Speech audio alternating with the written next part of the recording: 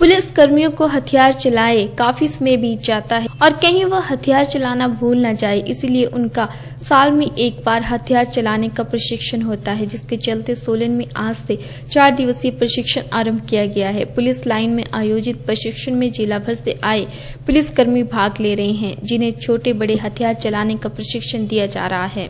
Police अधीक्षक मोहित चावला ने बताया कि जिला के पुलिस कर्मी इस प्रशिक्षण शिविर में भाग ले रहे हैं, जिन्हें फायरिंग करने की गुर सिखाए जा रहे हैं। उन्होंने बताया कि प्रशिक्षण के दौरान कर्मियों को सभी तरह के हथियारों से निशाना लगाने का प्रशिक्षण दिया जा रहा है। विशेष तौर पर नाकों पर तैनात और जाँच अधिकारियों को छोटे हथियार चलाने का प्रशिक्षण भी दिया जा रहा है, ताकि वह किसी भी विषम परिस्थिति का सामना कर सके। सोलन डिस्ट्रिक्ट में पुलिस के कर्मचारी, अधिकारी, ऑफिशियल सबके लिए firing practice annual firing practice organise की गई है।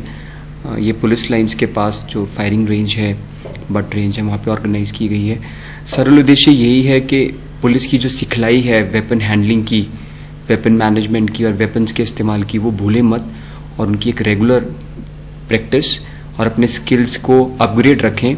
इसके लिए इस फायरिंग प्रैक्टिस का सेशंस का ऑर्गेनाइज किया गया। इसमें वेरियस वेपन्स स्मॉल आर्म्स और मीडियम आर्म्स जो राइफल्स रहती हैं, उनके भी फायर को प्रैक्टिस करने के लिए प्रयास है और उसको अमल में लाया जाता है। स्पेसिफिकली जो नाका ड्यूटीज़ और जो हमारे पीएसओज रहते हैं, उनके लिए स्मॉल आर्म्स के लिए भी हमने फायरिंग सेशन ऑर्गेनाइज किया।